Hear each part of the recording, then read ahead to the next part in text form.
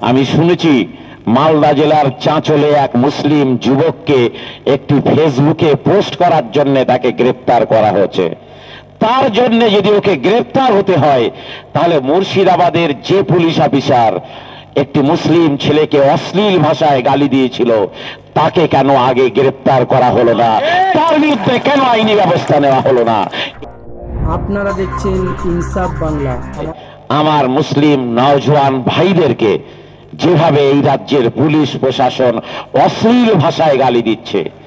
ছয় ডিসেম্বর নিয়ে যেভাবে মুর্শিদাবাদের মতো জেলায় পুলিশ পোস্টার ছিঁড়ে দেওয়ার পিছনে মদত দিচ্ছে, সেটা অত্যন্ত অন্যায়।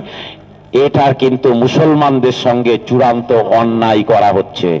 বিভিন্ন থানার পুলিশরা বিভিন্ন জায়গায় মুসলিম যুবকদের বিগত দিনে সিপিএম এর আমলে বলতো, তোমরা সিমি করো, তোমরা সিমি করো, এখন বলছে, তোমরা মিমি করো, তোমরা মিম করো। এই সমস্ত বক্তব্য কিন্তু আমরা আইনের রক্ষক, রক্ষকদের কাছে শুনতে চাই না। যদি এই ধরনের অন্যায় মুসলিম যুবকদের প্রতি পশ্চিম বাংলায় একের পর এক ঘটে, জেনে রাখবেন আমরা কিন্তু ছেড়ে কথা বলব না, অন্যায়কে কোনোভাবে মেনে নেব না, বরদাস্ত করব না। কিছু কিছু মানুষকে, কিছু কিছু মানুষকে আপনারা কিনে রেখে দিতে পারেন, কিন্তু সব মানুষকে সব সময়ের জন্য কিনে রেখে দেওয়া যায় না। অন্যায়কে সমর্থন করব না, বরদাস্ত করব না। আমি শুনেছি মালদা জেলার চাঁচলে এক মুসলিম যুবককে একটি ফেসবুকে পোস্ট করার জন্য তাকে গ্রেপ্তার করা হয়েছে। অশ্লীল ভাবে কেউ ফেসবুকে পোস্ট করুক, এটা চাই না। কিন্তু ওই পোস্টটা আমি নিজে পড়েছি। মুর্শিদাবাদের একটি পুলিশ যে ভাষায় গাল দিয়েছিল, সেই ভাষাগুলো লিখে ওই ছেলেটি তার ফেসবুক অ্যাকাউন্টে পোস্ট করেছিল।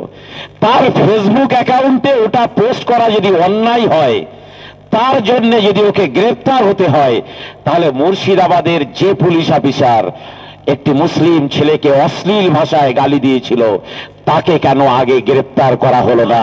তার বিরুদ্ধে কেন আইনি ব্যবস্থা নেওয়া হলো না? এটাও কিন্তু পুলিশকে দিতে হবে। আর মানুষ, আমরা প্রতিবাদ করছি না মানে এই নয় যে আমরা চোখ বুঝিয়ে আছি, আমরা অন্ধ হয়ে গেছি, আমরা ন্যায় বিচার চাই, আমরা সুবিচার চাই। সিপিএম এর কাছে যখন ন্যায় বিচার পাইনি, তখন তাদেরকে আমরা ছুঁড়ে ফেলে দিয়েছিলাম। আজকে যারা আছে, তারা যদি ন্যায় বিচার করতে ব্যর্থ হয়, তারা যদি আর এস এস এর চশমা পরে নেয়, তারা যদি গেরুয়া চশমা পরে নেয়, হিন্দুত্বের চশমা পরে নেয়, জেনে রাখুন, বাংলার তিরিশ শতাংশ মুসলমান কিন্তু এই সাম্প্রদায়িক শক্তির সঙ্গে আপোষ করার অপরাধে কিন্তু এই শক্তি কেউ ক্ষমা করবে না, ছুঁড়ে বঙ্গোপসাগরে ফেলে দেবে। তাই আপনারা দোয়া করুন, লড়াইয়ের পাশে থাকুন ইনশাল্লাহ যেখানে বেইনসাফ হবে সেখানে লড়াই চলবে। আমাদের